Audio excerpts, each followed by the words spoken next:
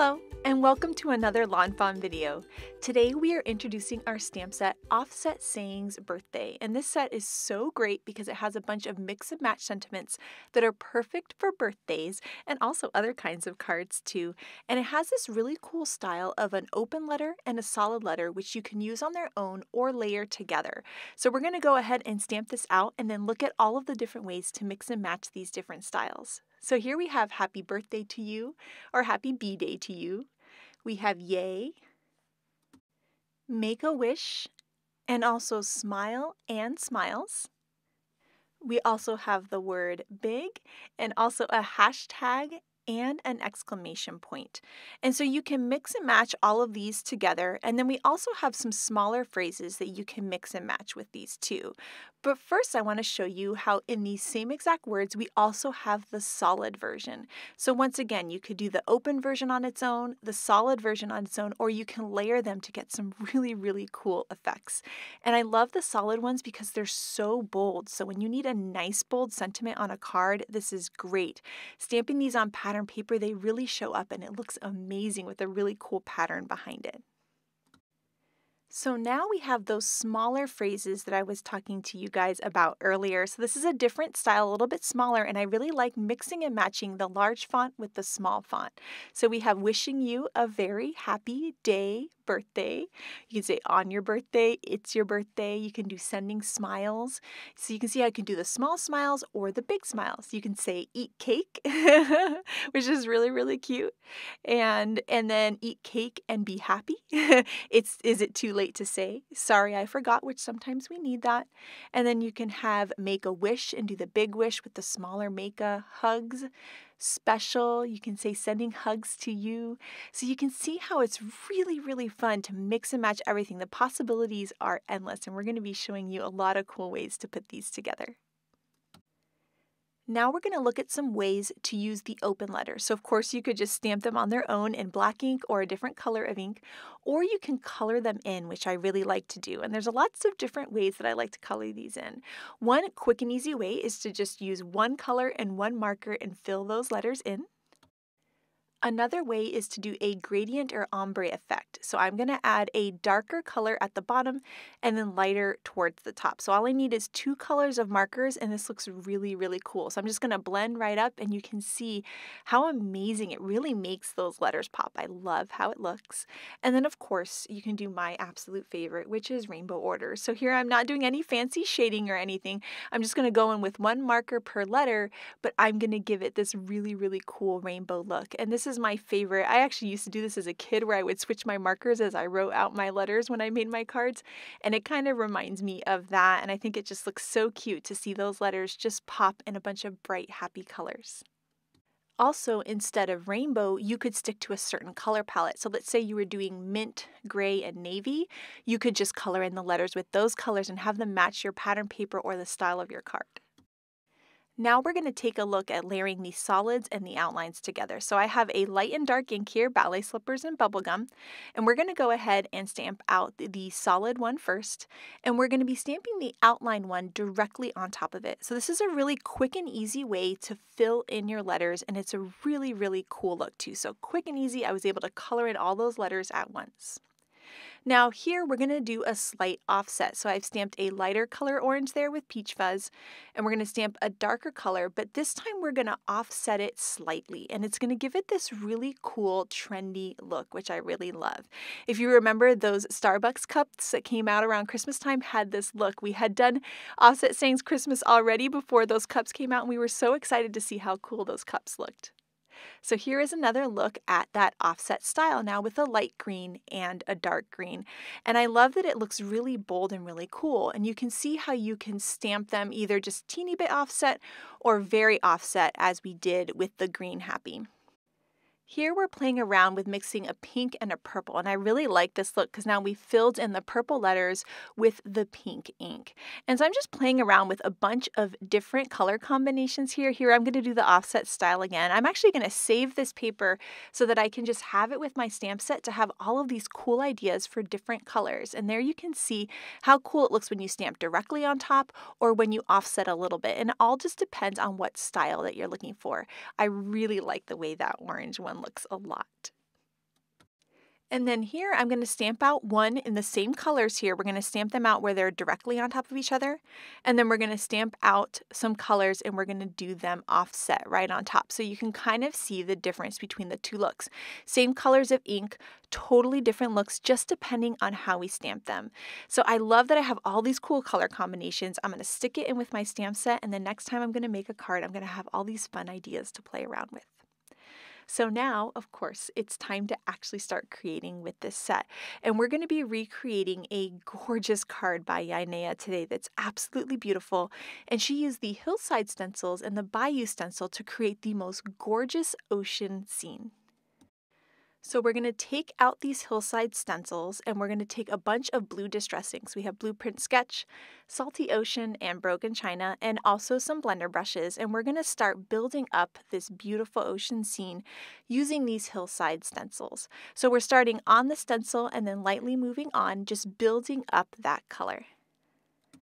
Once we have that first wave, we're going to go ahead and clean off that stencil. We'll remove the stencil and we're going to mix and match between stencils, not only the different hillsides that are included in the hillside stencils pack, but you can also flip them over too to get different looks. So you can take the stencil and flip it over and get a totally different look out of it. So we're going to do that, layer that in place, hold it in place with some washi tape, and now we're going to go ahead and switch to a different color of ink. And these three shades of blue playing off each other is what's going to look so beautiful, especially as those colors layer as the different waves kind of hit each other. So this is just so pretty. Oh my goodness, I just love it. So we're going to once again take that stencil, we're going to flip it over, uh, clean it off first, of course, so we don't make a big old mess. And once again, we can flip it over and keep playing along with this. And I love that these hillsides have now become oceans by playing around, mixing and matching them, shifting them left and right, and playing with some blue colors of ink. Now that we have this stencil in perfect placement, we're going to go ahead and add on some more of that ink. And so once again, starting on the stencil, moving off, and then layering it over just a little bit where those waves are going to meet each other.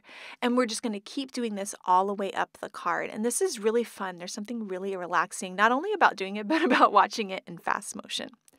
Also, I want to apologize if I sound out of breath at all. I am very, very pregnant. So somehow these voiceovers are making me sound out of breath. So thank you so much for your patience with me. And so here you can see Shari is building up that color. It's looking absolutely beautiful. We're just mixing and matching that stencil, wiping it off, flipping it over, shifting it left and right. You can angle it up and down and just create the most beautiful scene this way. You can see that you could do something really similar with green inks and create kind of like a pasture look that would look really cute with maybe some farm animal stamps. So here we're working our way towards the top of this whole thing here we're going to add in one more of our waves, and then the last one, we'll be able to just ink the top to fill that all in. To give our waves a bit of a finished look, we're going to take one of the ink colors here and we're just going to go around all of the edges. And you can see that as we start to do that, it kind of integrates all of those waves together and really just makes it look nice and finished. Now here we have Chipped Sapphire, also a blue color, but a very, very dark blue. And we're going to take our Bayou stencil. Now this is meant to create some vines, kind of like a cool Bayou look.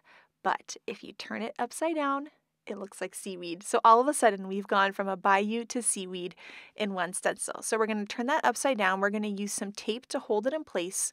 And then we're going to use this chipped sapphire, this really, really dark blue ink to fill in these vines that are now becoming our seaweed. So we're going to layer that right on top and you're going to see just how gorgeous this turns out. I absolutely adore it. So we've got our chipped sapphire on there. The best part, the big reveal. Look how cool that's looking. Oh, I love it. The Bayou stencil is a two-step stencil, so it has the vines and then it has the leaves. So we're going to take these leaves that are now going to become part of our seaweed.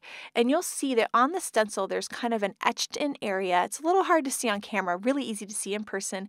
They're going to line up right with those leaves. So once you've got it in place, you can hold it in place with that tape there. And we're going to take some faded jeans distress ink, another color of blue, and we're going to layer that on top of the leaves. And that blue with the dark blue is going to make it have this really really cool seaweed quality, like we're way deep in the ocean.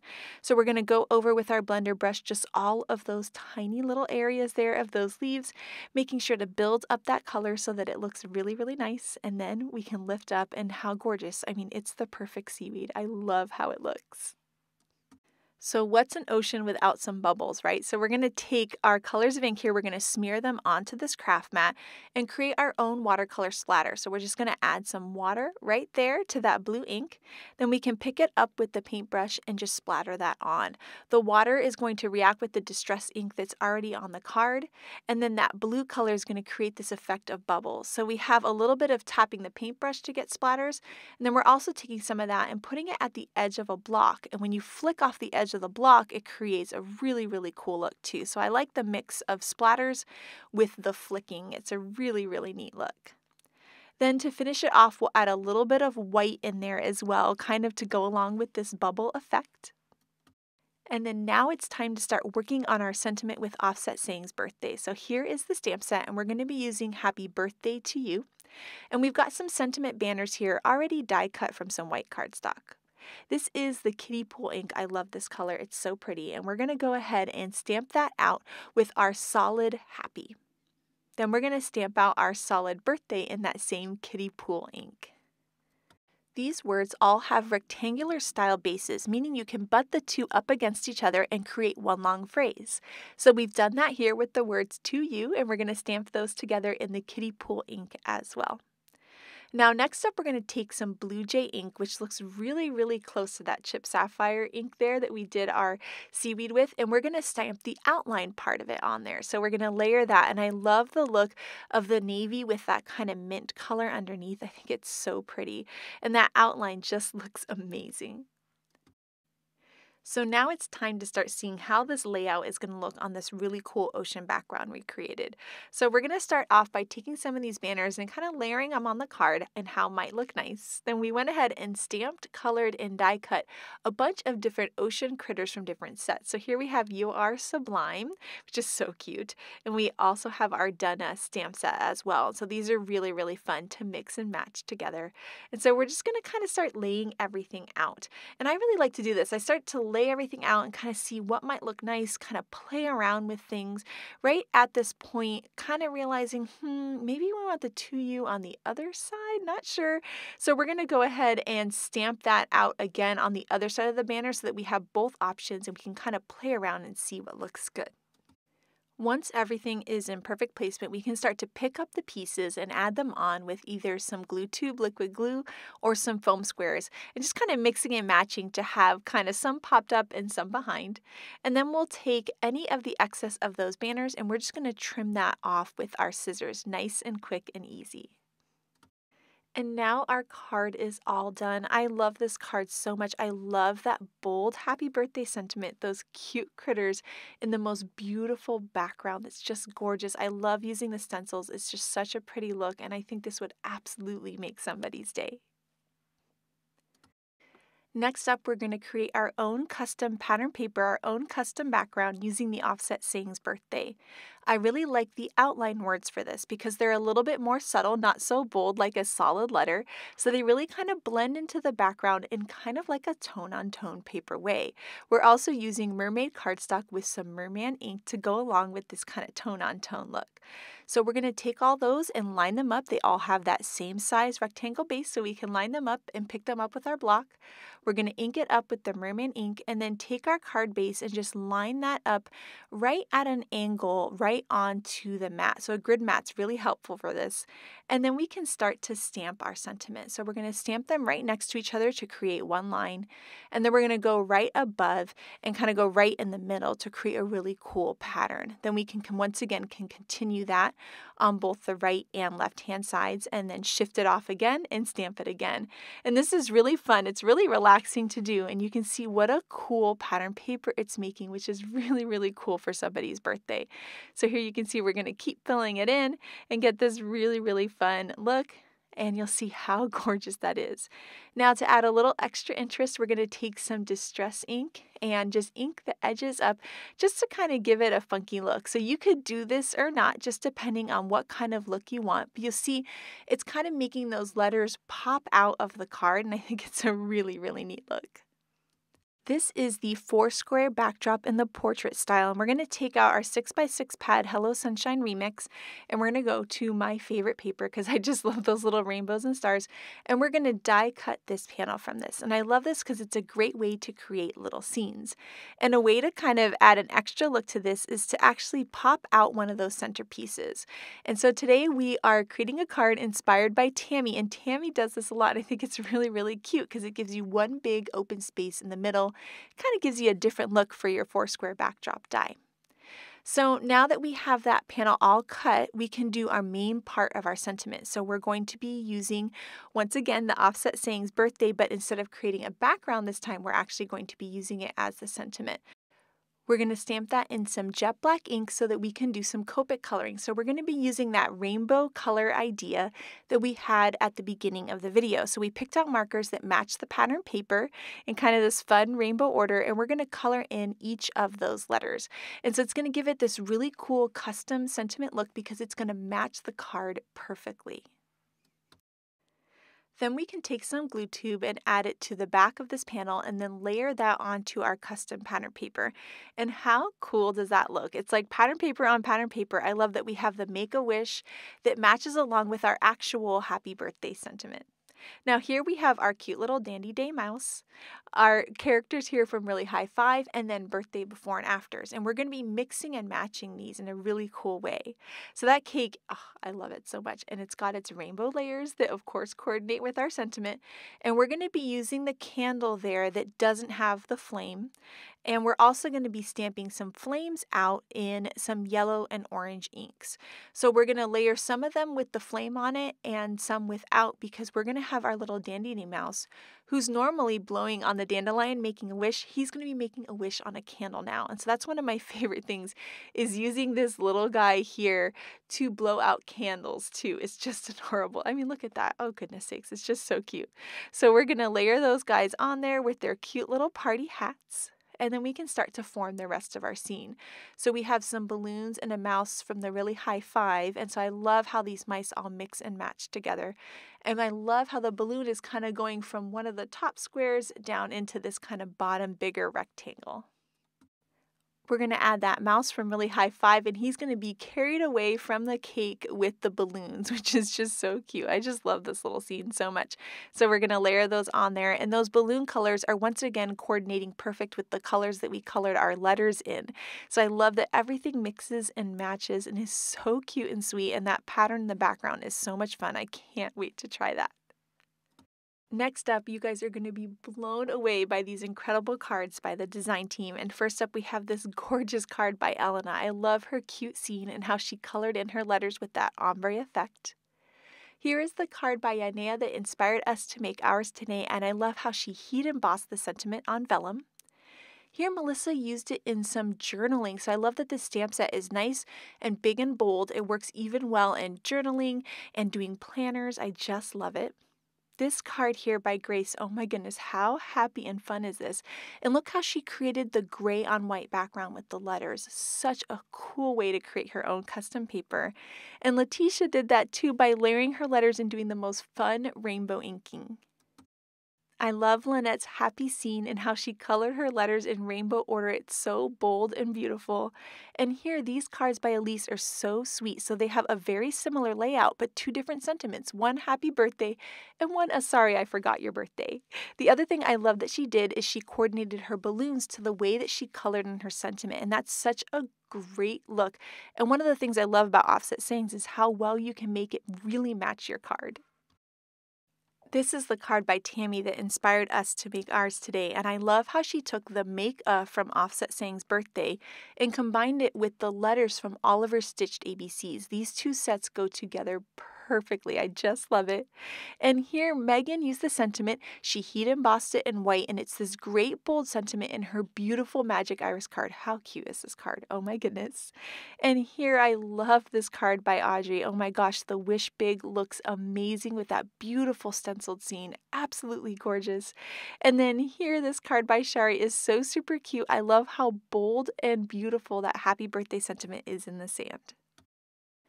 I am so excited about this stamp set and I love all of the cool and different looks that you can get with it and I can't wait to see what you guys do with this so please make sure to share it with us. And I want to thank you so much for watching today. I hope you have an absolutely amazing day. Bye!